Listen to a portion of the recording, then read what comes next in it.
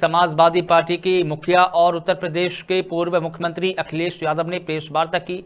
इस दौरान उन्होंने सिलक्यारा टनल में फंसे मजदूरों की निकालने में मदद करने वाले कामगारों को लेकर बड़ा बयान दिया है। उन्होंने कहा कि हम सरकार से कहेंगे कि जब उन्होंने बचने वालों की मदद की है तो फिर जान बचाने वालों की भी मदद की जानी चाहिए।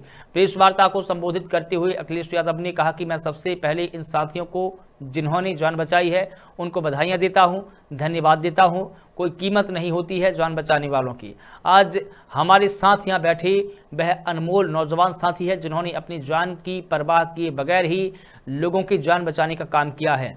इन सभी को अखिलेश यादव ने शॉल श्रीफल देकर सम्मानित किया है। तकरीबन चौदह लोगों को अखिलेश यादव ने सम्मानित किया। और सम्मानित के तौर पर मुआवजे की राशि भी एक एक लाख रुपए भी प्रदान की है। अखिलेश यादव ने ये सारा कार्यक्रम प्रेस वार्ता के दौरान किया।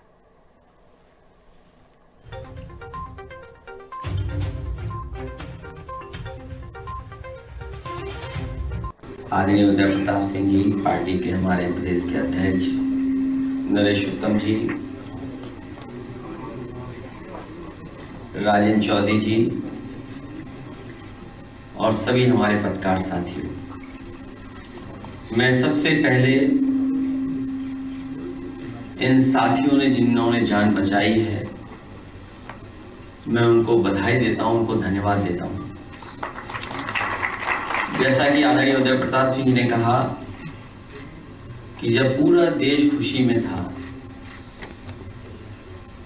तो सोचिए उन परिवारों पर क्या हो गुजर रहा होगा। कि जिनके परिवार का मुखिया बचेगा कि नहीं बचेगा, वो वापस आएगा कि नहीं आएगा, उसका जीवन संकट में था। जो भी सरकार, कंपनियाँ या और लोग जो लगे हुए थे जान बचाने में, वो लगातार प्रयास करते रहे और लगभग सत्रह दिन तक वो कार्रवाई चली। इन साथियों ने जो हमारे साथ बैठे हैं आज मंच पे, इन्होंने जान बचाने का काम किया है। और आपने ठीक ही कहा है कि कोई कीमत नहीं होती है। लेकिन मैं ये कहना चाहता हूँ कि जान बचाने वाले बेशकीमती होते हैं। उनकी कोई कीमत नहीं होती। और उनका मोल भी नहीं होता, वो अनमोल लोग हैं।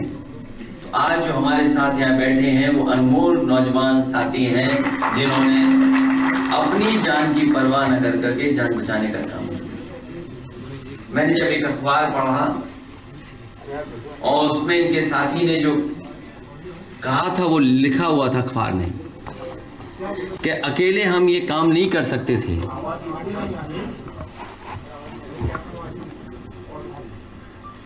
अकेले काम ये हम नहीं कर सकते थे। हम लोगों ने मिलकर के ये काम किया है।